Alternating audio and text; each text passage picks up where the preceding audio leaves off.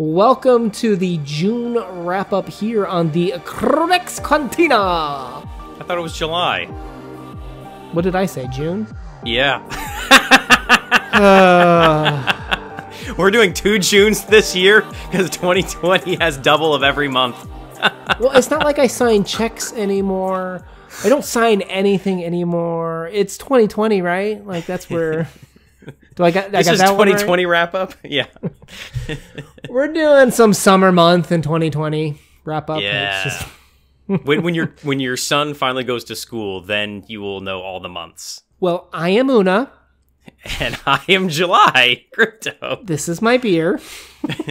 Cheers. It's so funny because I got we got a comment the other day. He's like, "I love these tipsy videos," and I'm like, "You think it's just the the tag videos that were tipsy?" Like, like when I watch these, I'm like, I know which one was recorded first and which one was recorded last. Yeah, they're like, oh, that's two beer video. That's a four beer video. That's that's the four beer video right there. so welcome to beer three and a half right now. By the way, did did I say my name? Did you say your name? Did we do did. intros? we did. Okay, fuck it. We did. Okay, fuck it. They know who Screw we are now. They're gonna Screw it. subscribe anyway, so they're gonna know us forever. We come to you two to three days a week. we are doing a couple different sections here with our picks of the month, novels, and short story.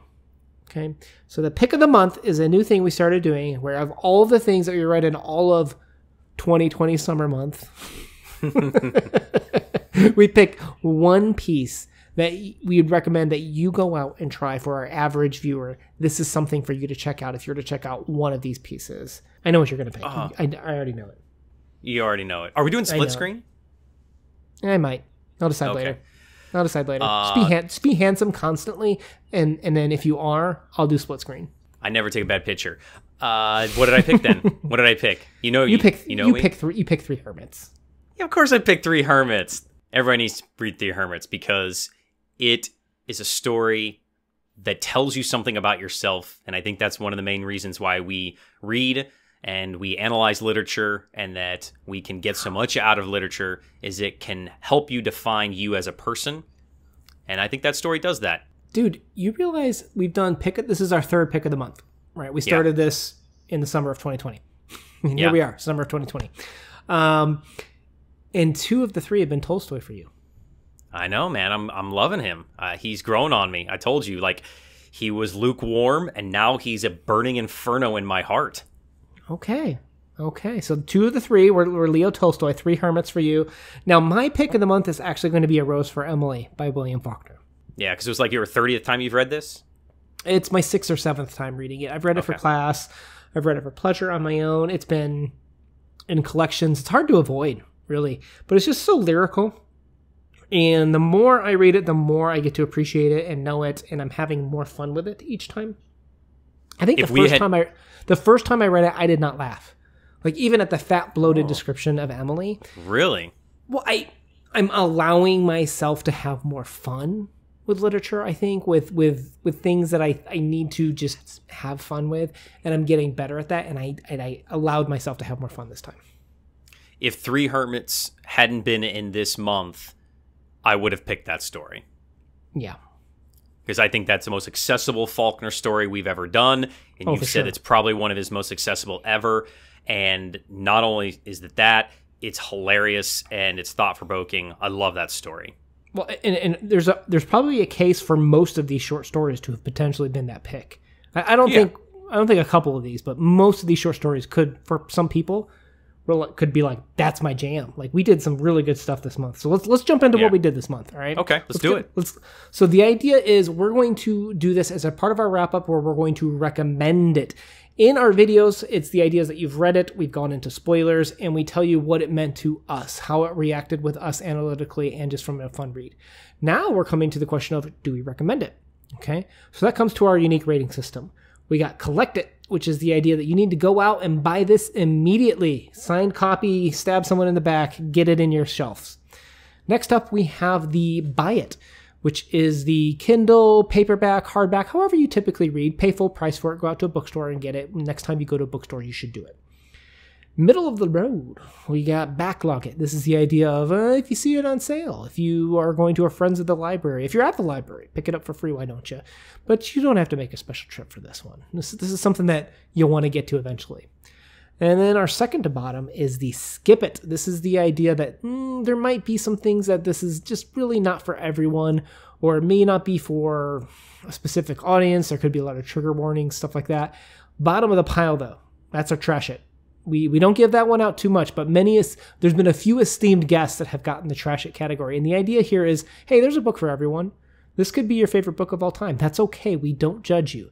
We just think for our average audience that there's probably some problems in here, or maybe that very specific things that this would only resonate with a select few, which is why we put it in this category. Hmm. I see, see that, and that pause right there. That's why we can't do the split screen. there was this huge lightning strike that hit right when you did the pause. By the way, that might be in my uh, audio. Really? Yeah. No. You having a storm Yeah, right now? It's storming up good. No. So if I lose Alright. power, you'll be doing it on your own. I doubt it because call and video camera aren't impacted. This is true. I'll just have to get really close to my video camera mic. We'll just we'll just be like a um, goosebumps episode. like Oh. it's like you're in the dark. Can you hear me? All right, let's go on to novels this month and what would we recommend to our average viewer? First up, we have The Sirens of Titan, which we can finally rate because we finished it and put our video out in our discussion with Angela from the Literature Science Alliance. Uh, and and if you're new here, we, we typically guess each other's ratings. I'm going to guess you said you were kind of poopy on it. I think you Yep. still went with backlog it. I think you still went backlog. I don't think you did skip it. You did backlog it. I did backlog it, even though I did actually buy this book and it's on my shelf back there. Uh, I did say backlog this because I think that I haven't read it yet, but I think Slaughterhouse Five. You need to read that one probably first, or I don't know Weird. first, but you. I don't know. I don't You're know. recommending a book you haven't even read yet? yeah. Well, maybe that could. Uh, I, I don't. I'm not poopy poopy on it. I'm just. I'm sure there's better. There's better work out there by Vonnegut. Oh, for Right? sure.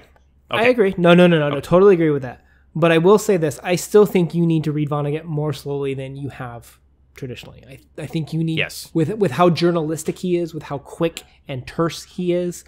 This is one of those pieces that I know is marketed to sci-fi, but this is a literary fiction novel, and it's written in a very journalistic manner, where it's very quick, harsh shards of just truth and and literary goodness in there. That if you try to binge read it, it's going to hurt. But if you take your time, you work yourself through it slowly, I think you can enjoy it more. Like if you read this in two, three days, I think that's too fast for, for the Yeah. average literary fictionist, in my opinion. I agree. I definitely did myself a disservice by reading it and binging it because I missed out on all of the topics that we talked in our video. Shameless plug, go watch it, please. And that there's so much to digest here that you need to read this one over a longer period of time. You'd probably Fine. enjoy it on a reread. I'm just saying. Yeah. So you're going to say probably buy it? No, Are you a collect it? I'm a backlog it. Oh, you're backlog it with me. Okay. Yeah, yeah. I, I really did like It this. made me feel I'm a- bad for that. well, no, no, no, no. I'm very pro Vonnegut. Okay, that's it's very clear. We're going to have more Vonnegut on the future of this channel. But in terms of the average viewer, I think this is not the one to start with. I think this isn't even the best of his work. This is. I actually wonder: is this even lower than Player Piano for me? I need to let it marinate. Right. This was my first. This was my first reading of it, but this might be the worst of his first six novels, in my opinion. wow. But you got to remember, I gave it a I gave it a seven, right? Like it it was it's still pretty solid. Yeah. But you made me feel bad for backlogging it. I just like making you feel guilty. That's just I- that's part of our I know. relationship. Oh, uh, uh, why do I put up with these things, channel? First of all, how did I make you feel bad? I didn't do anything to make you feel bad. Yes, you did.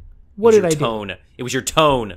I have nothing but love for you over here. Oh, my cat's tickling my toe. That hurt. Oh, easy there, right. Shadow. All right, Memory Police by Yoko Ogawa, our second novel of summer 2020. you did you finish it? You didn't finish it. yes. You No, didn't finish it. Yet. Oh, I we can't rate it. yet. We can't rate it. Yeah. I'm sorry. I'm sorry, we can't rate that one yet. Yeah. Uh, so that will trail over into August because Slow Pants travel around the world during a epidemic pandemic. It- it- crazy. All right. I was uh, listening to Way of Kings. The channel will forgive me. Okay, so our third novel that we can't talk about is Way of Kings because we aren't through that. We're, we're both about halfway ish through it. So that'll be in our summer 2020 wrap up. Yes. Summer 2020 wrap Next- up. I like that. Next next month wrap up. All right, now the the fourth one that we can really rate for, is is me only, which is Inuyasha. Uh, I've read volumes one through twenty, along with Lezlie from the Nerdy Narrative, one of the greatest channels on YouTube. If you haven't subscribed to her, what are you doing? Get over there, right? So for me, this is kind of um, I've I've watched the anime once up through thirty, and then again up through like hundred something, but I've never finished it. This is kind of like the halfway point. I want to say maybe like maybe episode fifty or sixty or seventy, somewhere around there.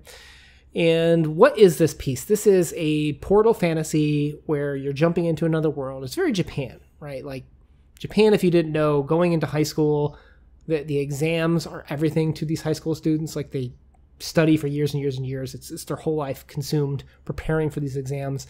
That an escape is necessary. The, the fantasy of escaping to another world is something that is heavily prevalent in Japan. That's what this is. And while there's battles, there's love triangles. It, it really it really tackles a lot of different subjects i feel like but on a very surface level. So i definitely would say backlog it for the average viewer. Uh, i think for literary fiction maybe more skip it I, I would say. But for me personally since i didn't do and i probably won't do unless i finish the whole series maybe a review on it for me personally i'm a buy it. I, I really like it uh, but I think for the average literary fictionist, it's more of a, a skip it. It's it's more just for fun, and it really is fun. I would say for a fantasy reader, it's very high fantasy, jumping to another world adventure.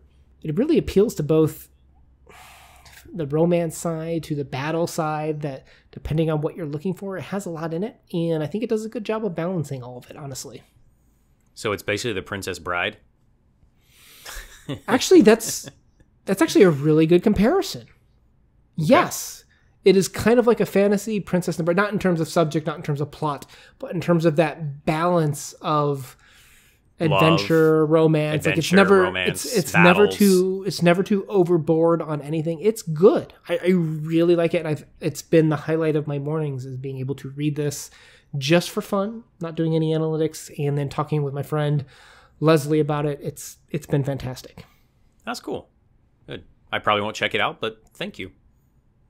I enjoy you- it through your enjoyment. Did you have anything that you read besides that? Nope.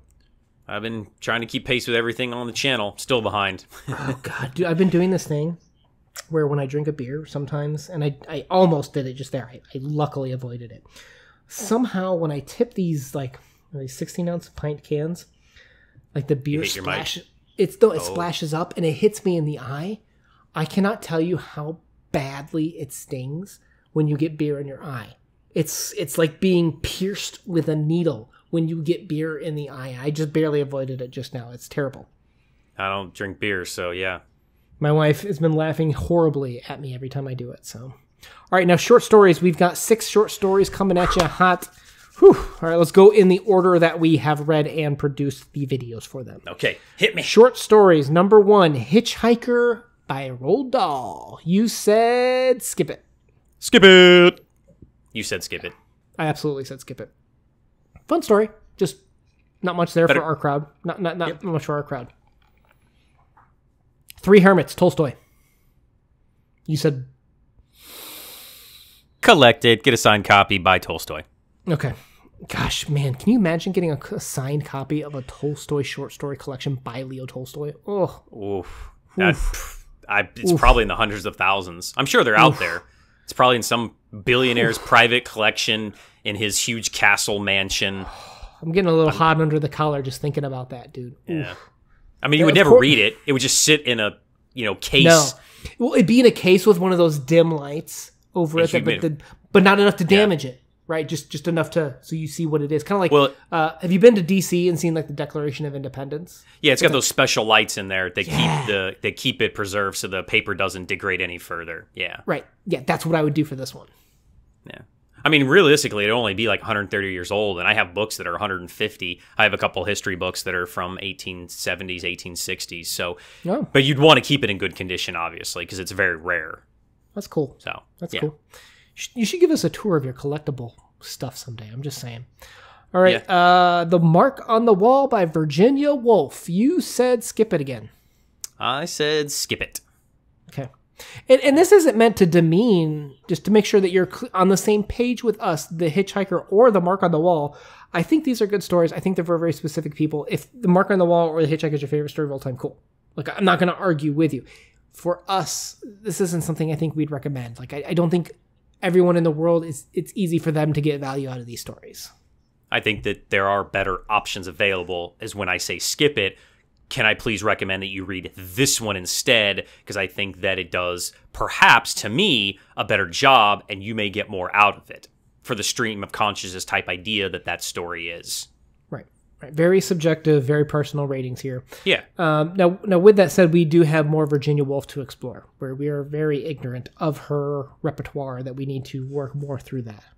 Now, let's get into some heavy hitters here because these next three are going to be hot and heavy. We've got first coming up, "Sweat" by Zora Neale Hurston. You said it's either it's either collect it or buy it. I'm gonna say you said buy it. Collect it. Uh, yeah, yeah, okay. Yeah. I can see that. No, I can I, I think she is a phenomenal author and I think that you should definitely check out her stuff and I'm excited for when you add more onto our schedule of her stuff because her story was well written, great execution, and I loved the twist at the end. Right. Right. Well, part of it is for us, and part of it is just it depends on how often people watch videos or share videos too. I Sure. watch. I, look at both of those. Right. Yeah. For me, I'm gonna say this might shock you, but I'm Buy gonna say it. buy it. I'm gonna say buy, it. Yeah. Um, I need because part of it is just personal experience of. I know she's an atheist. I and, and I think she actually did religion really well as an atheist. Like usually atheists struggle and just make like religious people like like like, like they don't write- they don't write religious conflicts well. Uh, check out Christy Luis's channel. She she's the one that kind of started talking to me about the subject. I completely agree with her on that. She did it extremely finessed well, but I need to learn more about her. Need to read more about her to extract maximum value from her, if, if that makes sense. I, I think it's a fair rating to say it seems like you need to know more about her to extract the most value out of it.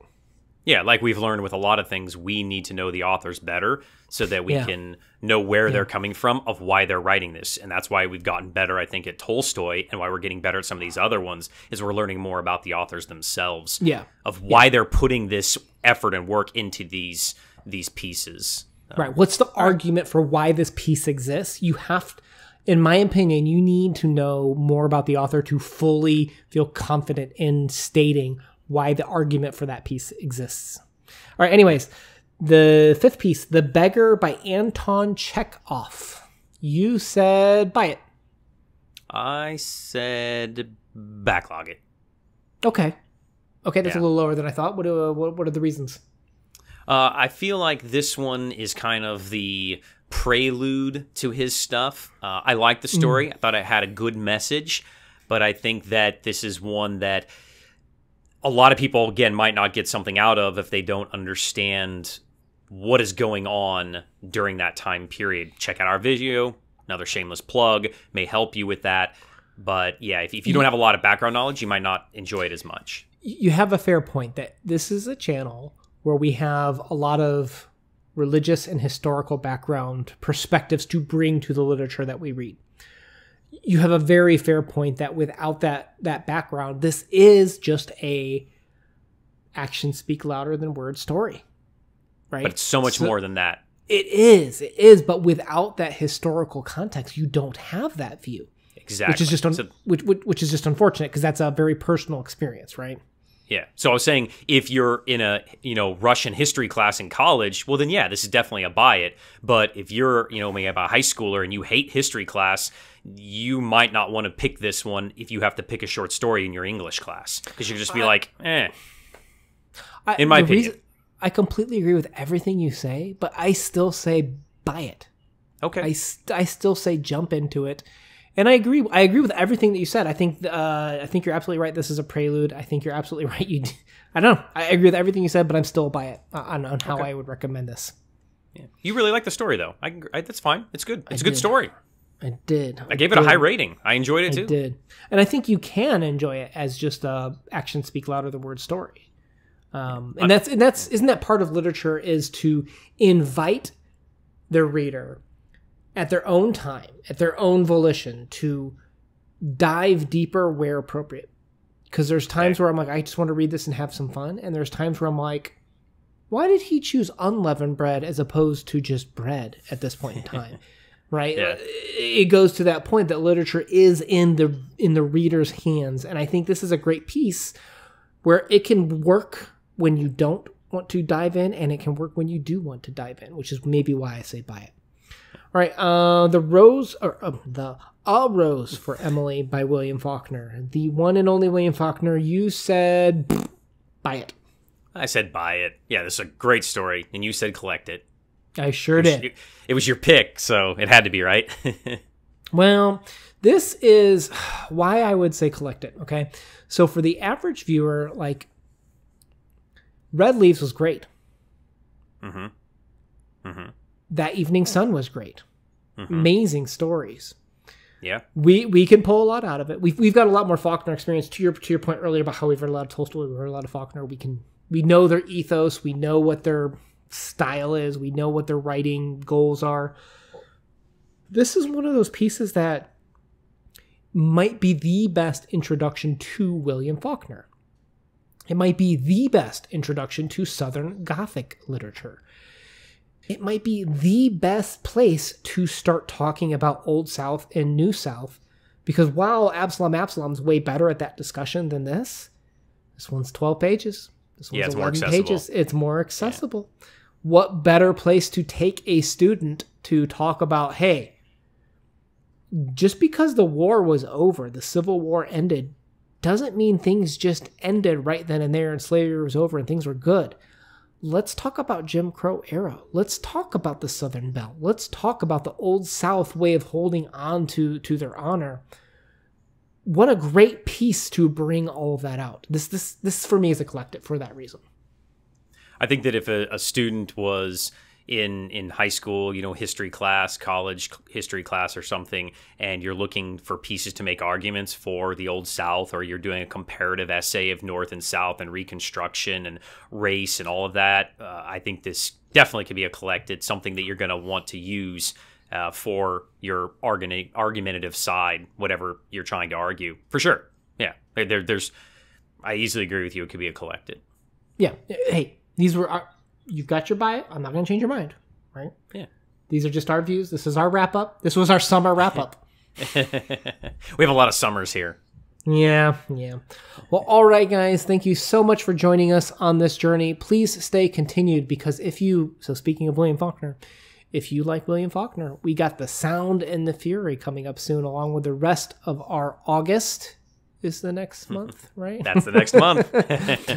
our, our August TBR is coming up. We're going to have a quick break to do the Good Country People coming up. So that'll be kind of like snuck in there before we even do the TBR. But that there's a very specific reason. Stay tuned for that video to check out why we have published that video before the, the TBR.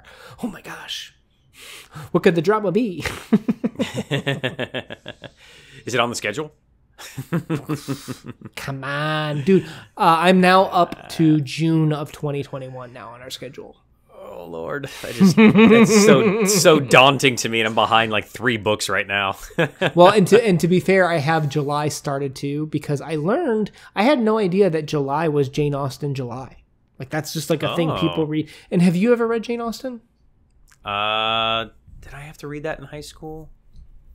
It's it's very common for a lot of people to read it in high school. I never did. Yeah, And I and I I think did. I think there was a book tag that we did with like what's the author that's most embarrassing that everyone's read that you haven't read. Mine's Jane Austen, and I had no idea Jane Austen July was happening. I All right, well, we got a week left in July, so let's try to cram how- something in there. I don't know how booktube people know all this stuff. I really don't. Like, there's all these things happening, and I'm like, I don't know what's going on. so I made sure for next July we've got our first Jane Austen planned for this channel. Good job, noob. Yeah, so there's our July 2021 DBR. TBR. all right, guys, thank you so much for checking out our channel. We hope you appreciate these wrap ups. Are you considering checking out that pick of the month selection? I, would love to know if you pick it up. If you do, let us know in the comments down below what you thought about it. We'd love to hear from you. So, with that said, if you enjoy literature discussions like this, please hit the subscribe button to join us on the journey. Una out. Peace.